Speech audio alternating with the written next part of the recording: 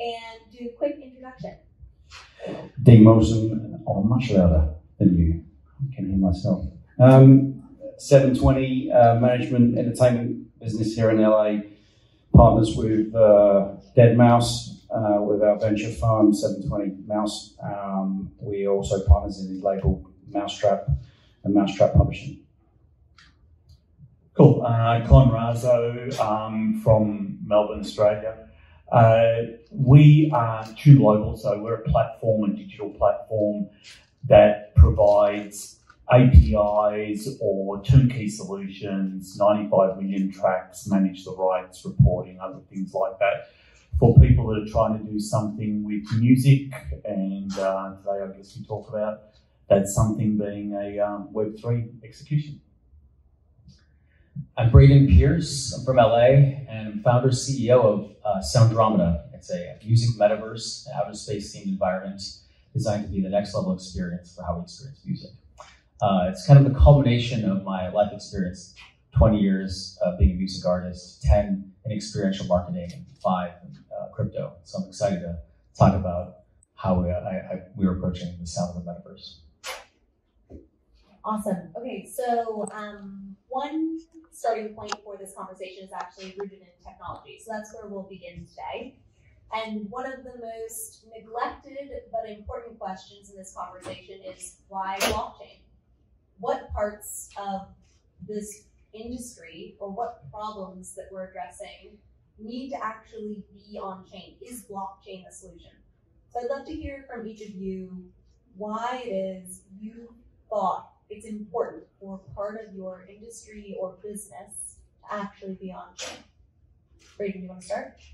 Yeah, sure. Uh, well, I think that blockchain can, just in general, solve a lot of problems in the music industry. Uh, first and foremost, on how uh, you know uh, royalties are paid out. It's a long and arduous process. It's been antiquated through PROs. Uh, I think you can simplify the whole process uh, exponentially, but that would save a lot of time and, and which means a lot more money by putting it on the blockchain and um, and just having to be more like an instant payment instead of waiting for 30, 60, 90 days for those royalties to come in. Uh, that's one way. Um, uh, I think that there's a lot of ways that you can apply uh, you know, blockchain technology to make things more efficient. Uh, yeah, but that's just one good way. Yeah, cool. Um, I guess from uh, our side, there's obviously a lot of there's a lot of impact of blockchain across the industry, whether it's reporting, uh, rights management, etc. The area that I think we've been certainly doing uh, a number of um, initiatives in is we think of our customers as being DSPs and they're in various markets and they're often got either niche um, projects or um, might be fitness industry. But if we look at some of the emerging markets we're in, and we've got um, applications in the Pacific Islands, Ethiopia, Ghana, other parts of Africa, through to then the major areas. We've been focusing a lot on how can we bring additional value to those local artists and help them actually make a decent amount of money through the DSP. And the DSP part being part of this process.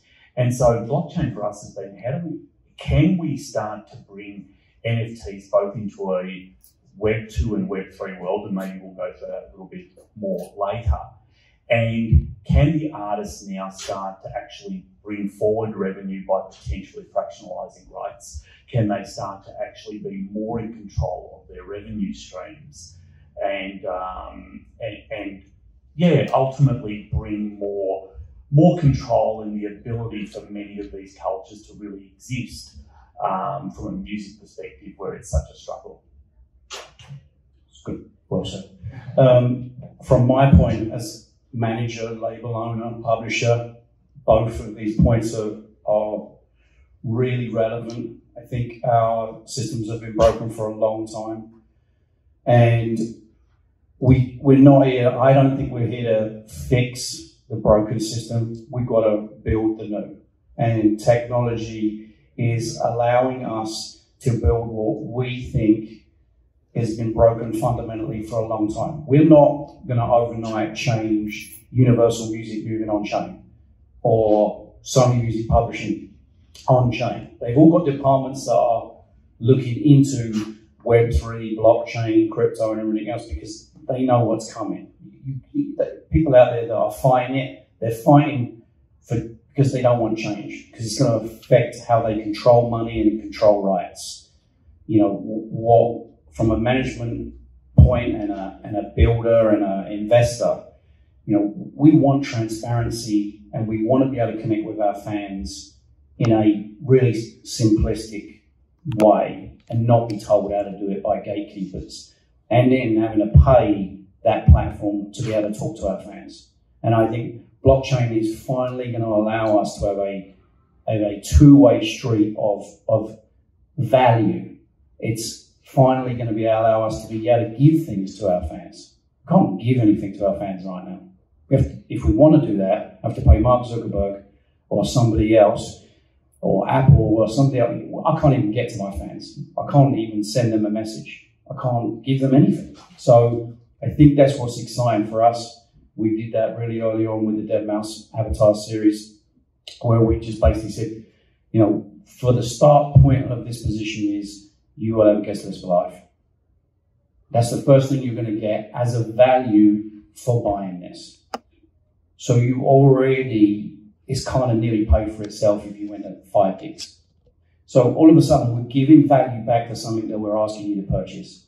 Because what we've done in the music business is all we keep doing is asking our fans to do something and we give them nothing back. Spend your money, spend your money, spend your money. Stream, buy tickets, buy merchandise, and we can't give anything back. So blockchain, as in the technology layer, is the first start, the foundation for everything else that we're going to be able to build on top of digital currency, whether it be NFTs or any digital collectible. I think NFT has become such a toxic word. It's, it's because it's overpriced monkeys and JPEGs. And, you know, everyone's got down this, you know, the FUD out there is out of control.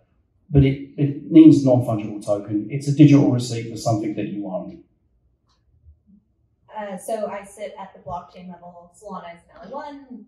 Most of you probably already know that, but just in case, uh, building something new, to your point, isn't always pretty.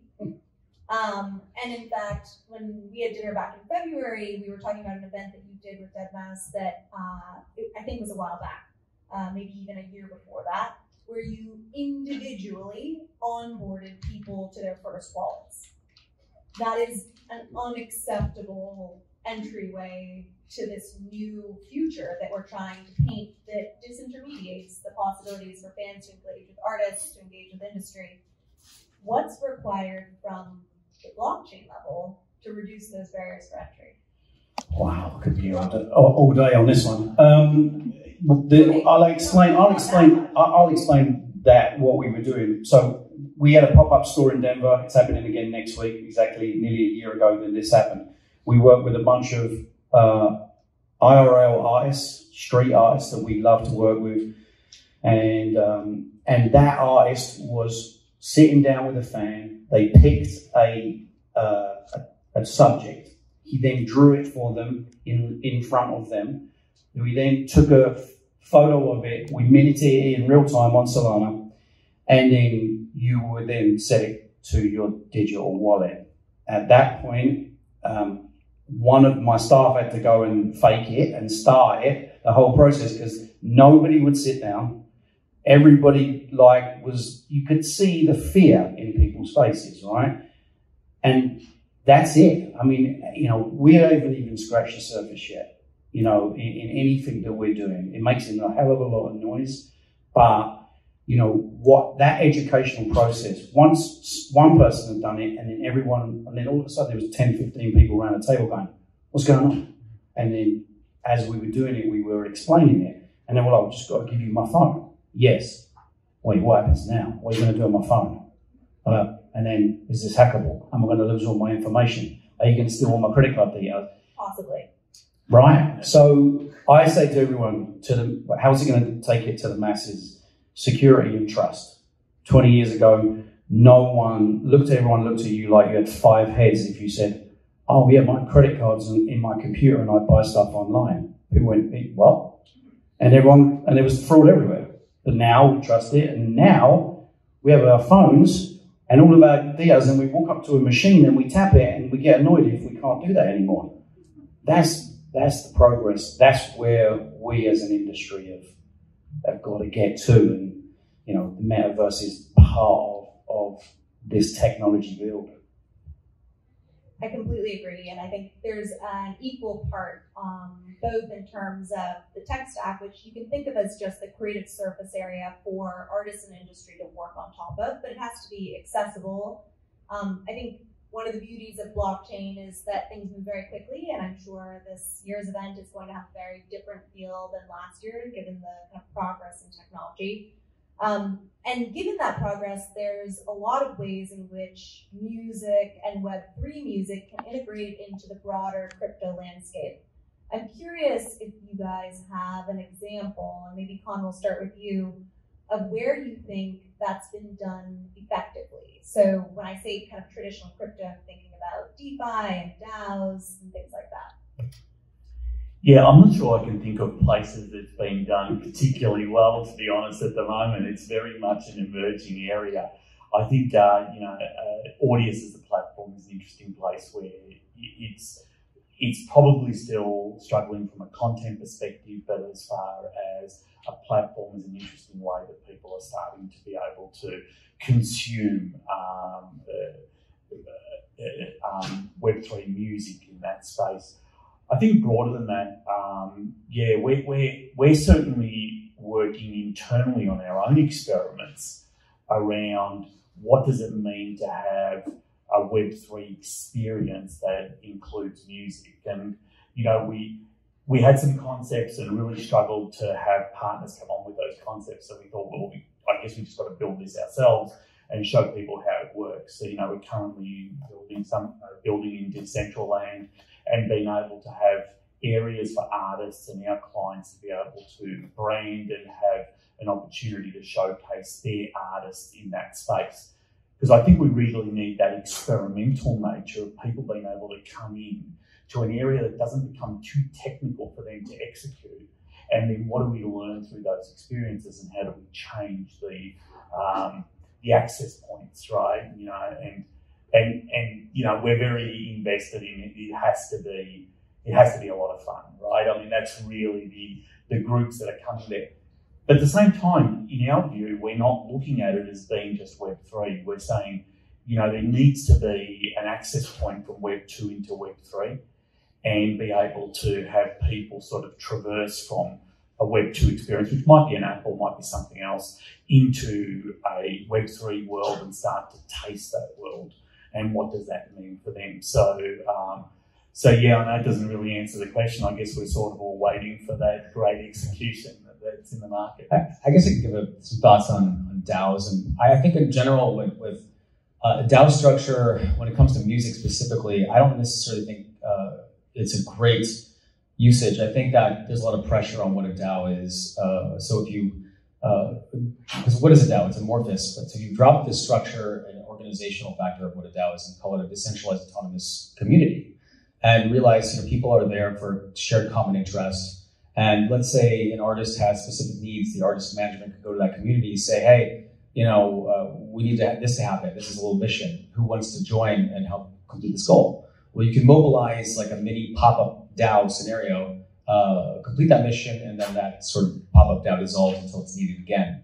I think it's a really interesting and unique way to like you know use some of those structures and, and that engage in, um, uh, into the fan base uh, uh with with the DAO structure. Um, in terms of how Soundromeda, our platform, will be uh, implementing DAOs eventually in our long term roadmap is to be fully decentralized and, and governed uh, by the people in a DAO. I think that's really important because uh, if you look at the previous iterations of web and applications that have existed, uh, they don't really last.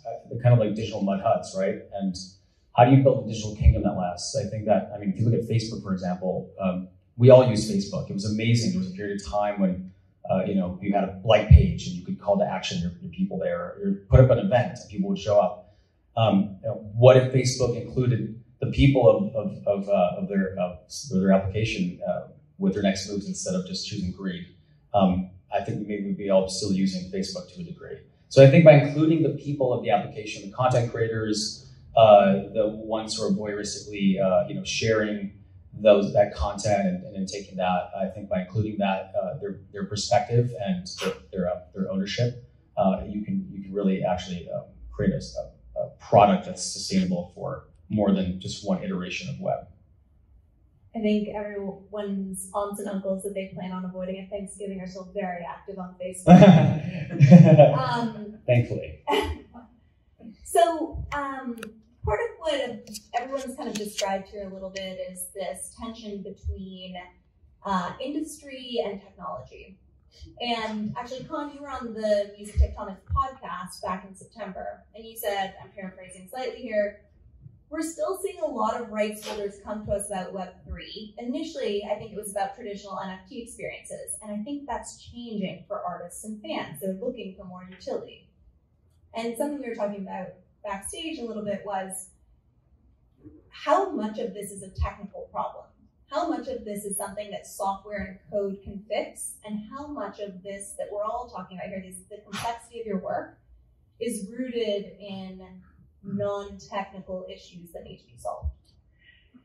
Yeah, I think it's almost all non-technical, to be honest, right? Um, you know, there's there's an ability to issue a token. Um, that token, like uh, we mentioned there, may not have any intrinsic value itself. It just gives the ability to actually have other utility issued against it. Whether that other utility is benefits for a fan for from the artist, whether it is uh, concert tickets, virtual concert tickets, or other elements like that, that exists in there. I think the issue that we're still seeing is that once you move away from the independent space, and in the independent space, I think it's relatively easier that, um, especially if the artist owns uh, all their rights, right, then they can start making decisions on what they're doing in this space. Once you move away from that space, though, and you move into the world of whoever owns the master rights and the publishing, you start getting into an incredibly complex area that sometimes is almost impossible to navigate at the moment.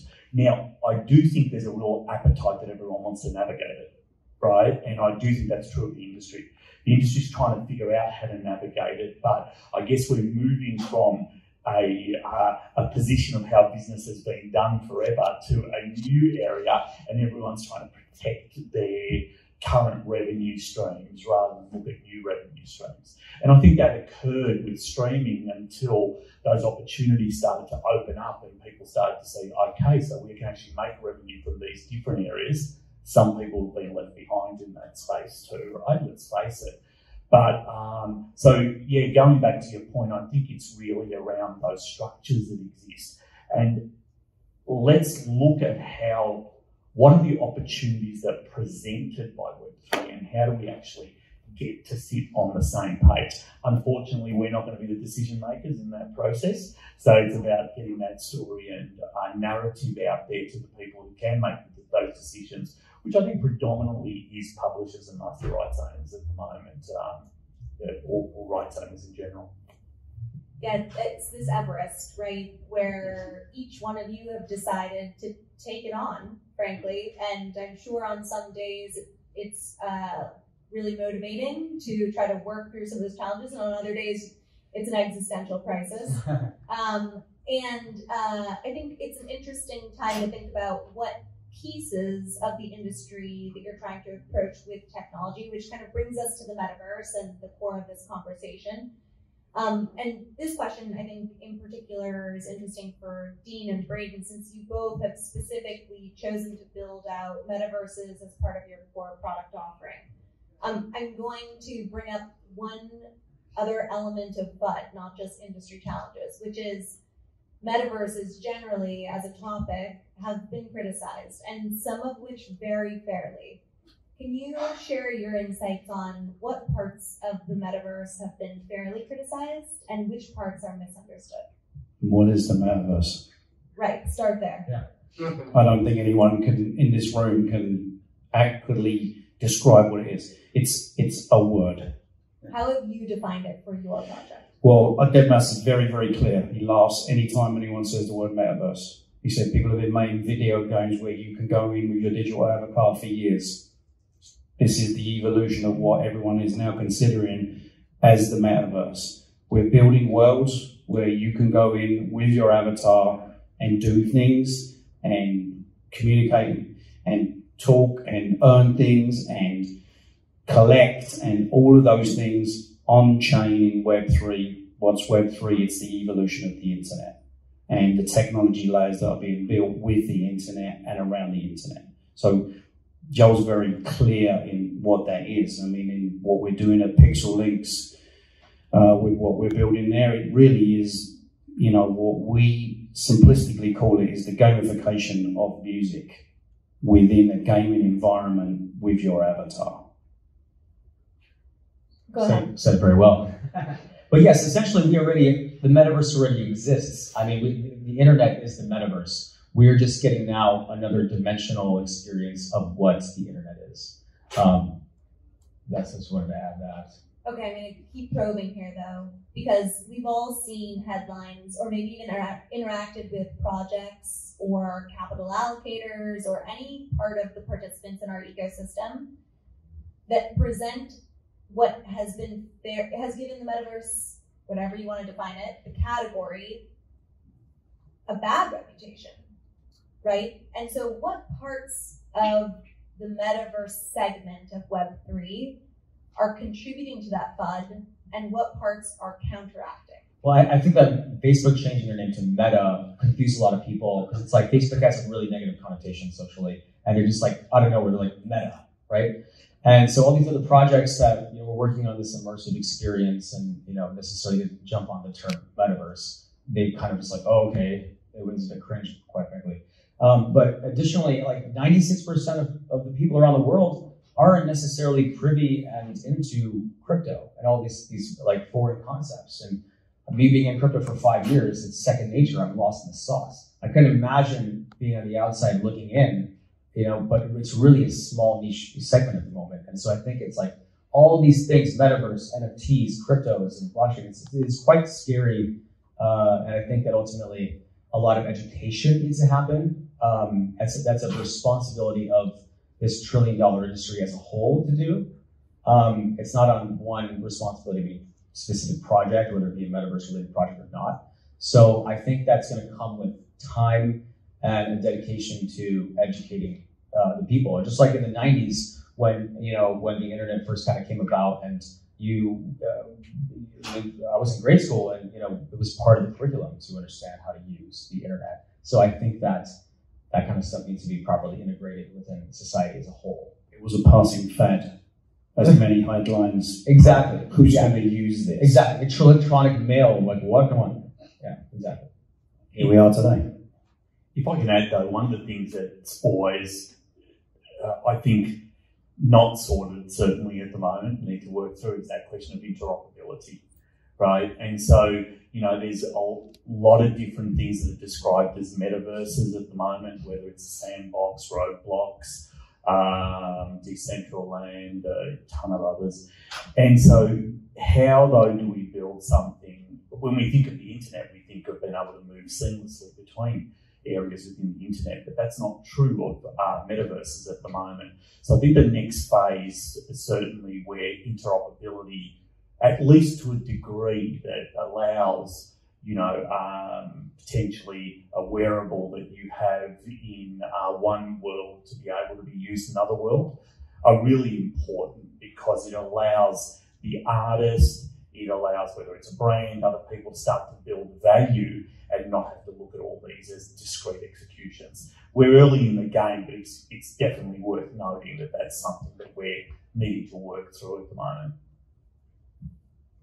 Yeah, I think uh, the ambiguity around all these terms is still yet to come. You know, none of us really will be able to predict what this technology holds. I don't think anyone, you know, developed the App Store and thought that the most culturally relevant thing to occur there would be Tinder. You know, but here we all are, kind of like building on this tech stack to try to see what connects culturally. And I think that was one of the theses from the keynote, which is around engagement and and where do humans find the ways to engage with technology? And I think one of the things that's been very successful for different projects that are on this frontier is creating some of the boundaries related to your own categories where they don't yet exist. So Pixelynx has had some success in that area, and something I'll, we can confidentially share amongst us girls here is that you'll be announcing next week at Web Summit that there's an acquisition that's in play.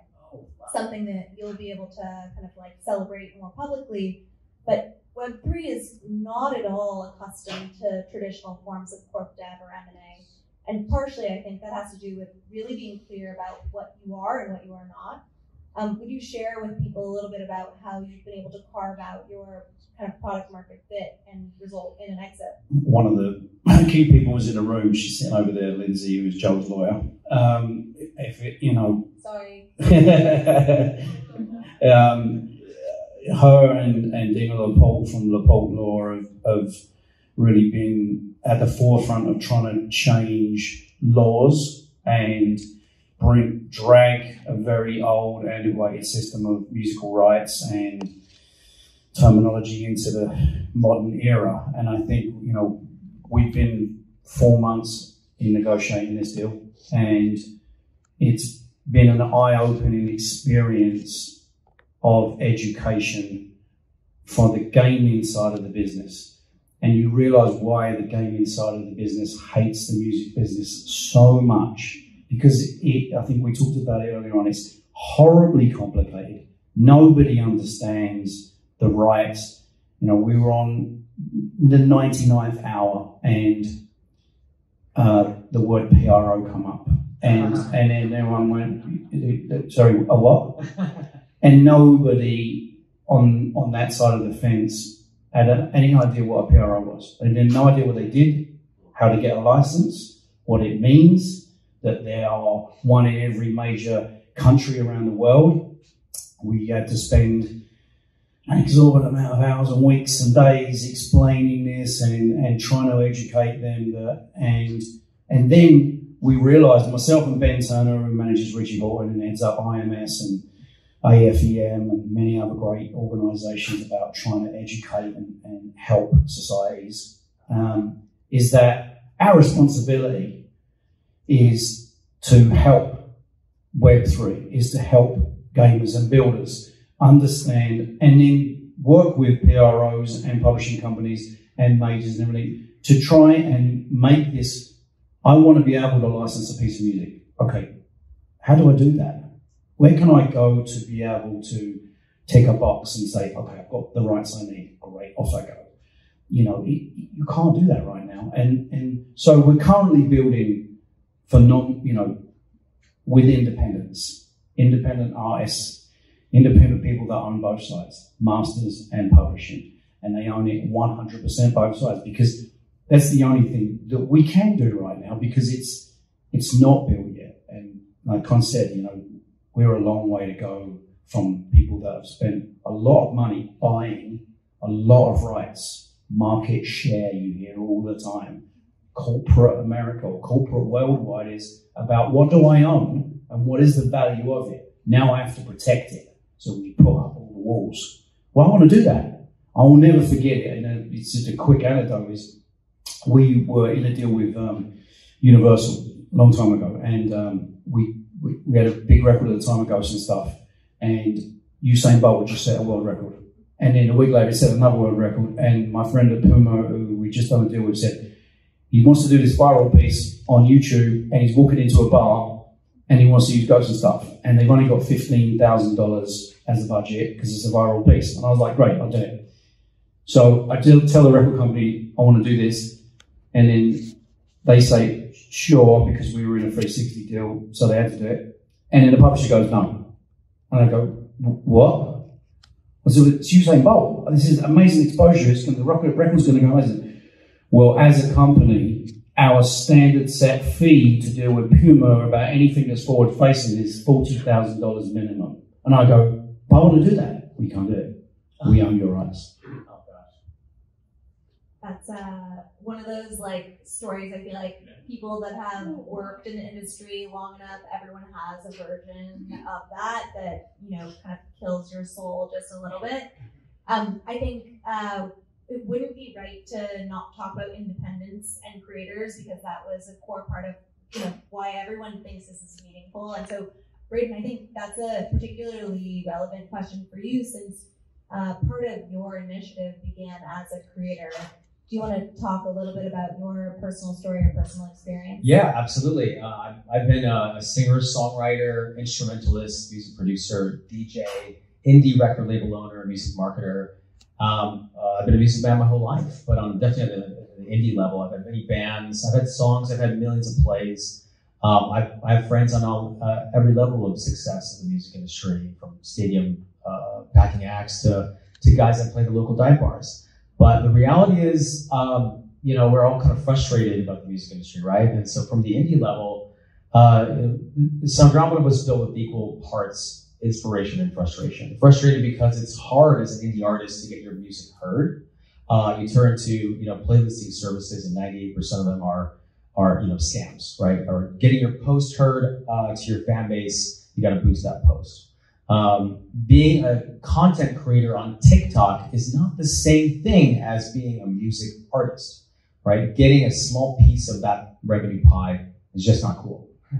So, um, you know, after five years in crypto uh, and, and, knowing that um, uh, uh, uh, every artist needs to kind of have like a, a, sort of a visual companion or stuff companion to, uh, to having a, a, new release, I envisioned like what I really wanted to share with my own music. Um, it was basically um, a um, an outer space themed galaxy where every song becomes an audio reactive immersive world, and from there, empathy kind of just sprouted um, uh, you know, we could, I, to me, I, I, was like, well, wait a minute, we can solve all these problems holistically with a new way to experience music. It's much more than a CD booklet, uh, more than a music video.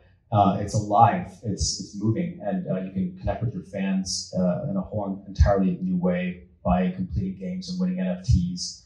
Um, yeah, so it just all kind of snowballed from there. Gonna look at my notes to see if I missed anything.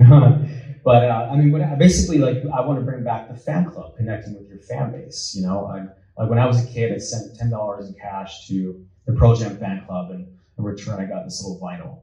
And I didn't even have a record player, but it meant everything to me. And I look at that and I was like, that's an original NFT. So where is that spark now? You know, and so our approach from Soundromeda is to just you know ignite that spark and make that nuclear in the most beautiful ways, and wrap that in an outer space themed environment because uh, who doesn't love outer space? We're all like, look at the sex of, look at the success of Star Wars and Star Trek and, and all that. There's something really powerful about that. And I, I've loved space since I was a kid. So it just made a lot of sense to me. It's a bit of a cathartic uh, expression to do it all. And uh, yeah. I think it, you know, is so fundamental to think about how fans change the way that they want to engage with music as well. And ultimately, you know, it doesn't mean that everything will have to change, but there should, certainly should be new opportunities and bands are kind of the final theme of today's discussion. We'll have one more question. I see I have zero minutes left, uh-huh. um, which is always why I take one more question. Um, and actually, this one's for Dean, and this is something you wrote on LinkedIn, which my much less respectful peers would call boomer Twitter. and um, on LinkedIn, you wrote about fans recently. Do you remember this? I did my homework. Okay, so you said, Fans and artists currently don't have a human relationship. Consumption and distribution is a one way transaction, but real human connections don't work that way, at least not with my friends and family. Social media and Web2 added a new dimension of creator fan relationships, but it still doesn't feel fully authentic.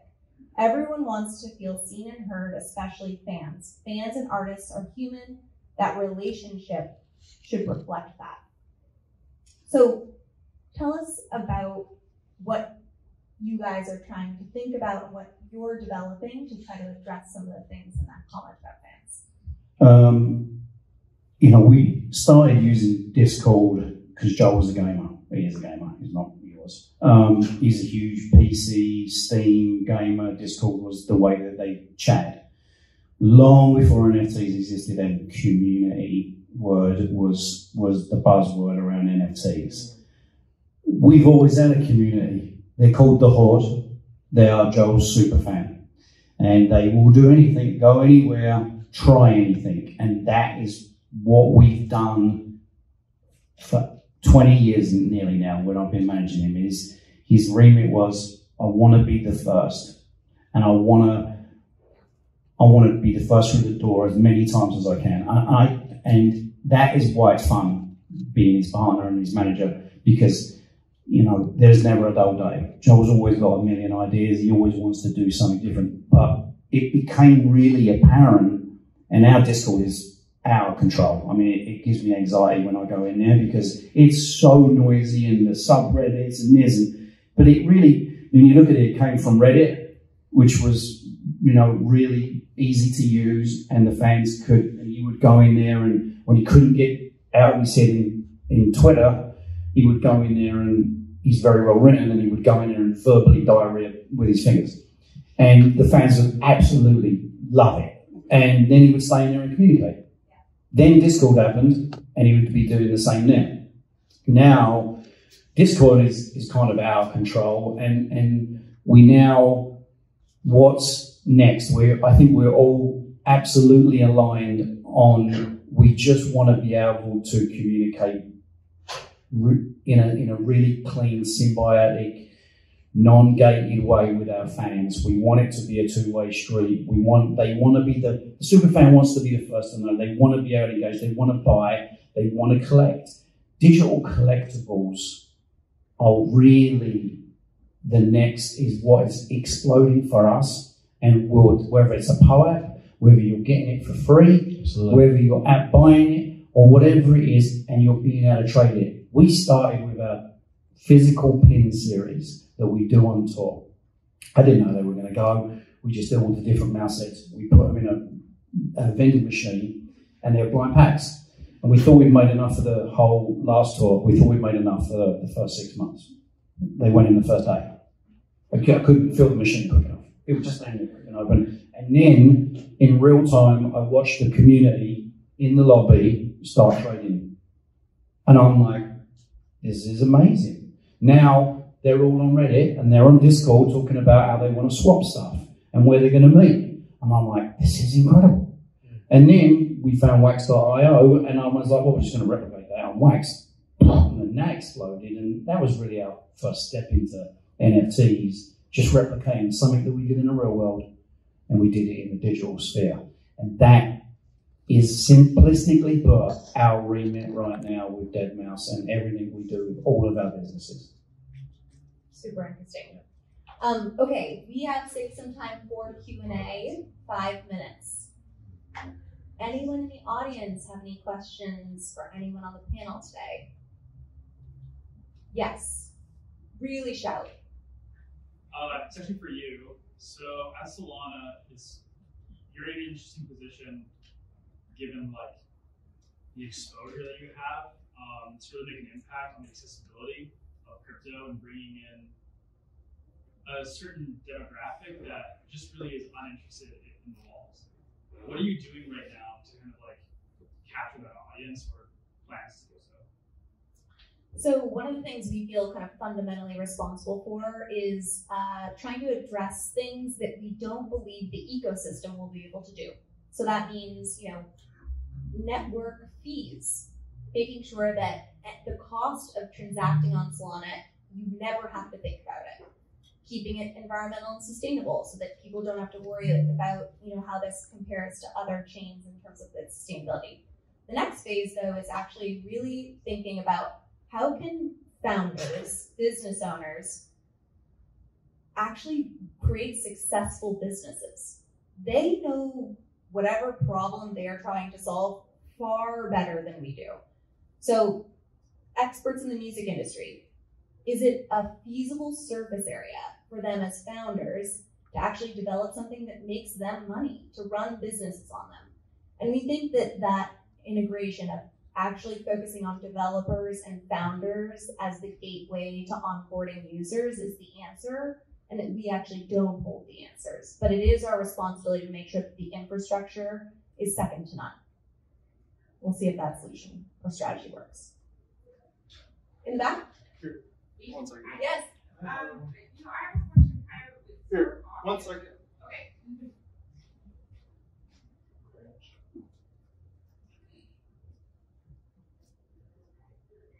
Hi, thank you. Um, I have a question. It may be sort of obvious, but I guess, you know, what is the sound of the metaverse? Because when we talk about kind of these artists that are going to drive this fan engagement on Web3, you're we're kind of talking about a unicorn, right? Like you want an, artist, an independent artist who owns both their rights, but then in order to kind of get people who want to engage and invest in them, you know, they kind of need to have the benefits of having been run through the traditional music machine where their rights wouldn't, you know, wouldn't belong to them. So like who is who is the sound of the metaverse? I mean, I think deadmau5 is like an amazing example, sure, but I think of him really as like an anomaly as opposed to like the norm, you know? I mean, I think about like Amanda Palmer, who's like kind of doing the metaverse on Patreon, but like who else? Good question. Good question. Yeah, I think that there is a there is a community, um, and it's growing between. Like we're involved with a company out of Australia called Emanate, uh, who have a company called Blockchain Music, who are building Motor DAO as well. And you know, everybody on that platform, uh, everybody on that platform is independent. Um, a lot of the people on Audius are independent. Um, there is a there is if you look enough, there are a whole community out there that are Web3 focused, crypto, blockchain, and understand that this they are going to be the first superstars to come out of this new world. Like, who was the first? Like, deadmau5 was the first superstar to come out of Beatport, you know, um, and there were, uh, you know, who was the first superstar to come out of streaming? There's every new, you know, platform or time or, or, or uh, time in place will be the next superstar will come out of a different platform or a different technology case because it will just happen. There's, there's too much talent out there. Absolutely, and actually, I think about half of all music now is released independently. So if there's hundred thousand new songs every day, that's fifty thousand new independent songs released every day. So the sound of the music, the sound of the metaverse, can you know really evolve and escalate very quickly. Um, uh, yeah. Yeah, I, would, I was just going to say, Con has an interesting perspective on this in local markets. Yeah, I, I, I think um, I think certainly um, the markets the, the, the let me get this right the uh, not first world markets that we're in uh, really are, or are often about independent artists. They don't like them being swamped by international artists that then take most of the pie. I think though that presents a real opportunity for independent artists because speaking to people for argument's sake this weekend that are doing really interesting things in Web3, they're all focused on independent artists because of the challenges with rights. So it does mean that where these artists have not been the focus previously, suddenly there's an opportunity for them to really emerge and become part of it. Um, certainly for us and our clients, I would say from our clients, the number one theme that's coming through is how do we create better and deeper engagement between the fan and the artist. And um, that's that's great to hear that from the DSP perspective and understanding how does that actually get translated. I'd say it's a state of flux how that's happening, but there's a lot of different experiments occurring toward that, both in, both in Web 2 and what we're talking about today in Web 3. Awesome. Okay. That is our time today, but come and chat with us afterwards if you have any other questions. We'll be here mingling around.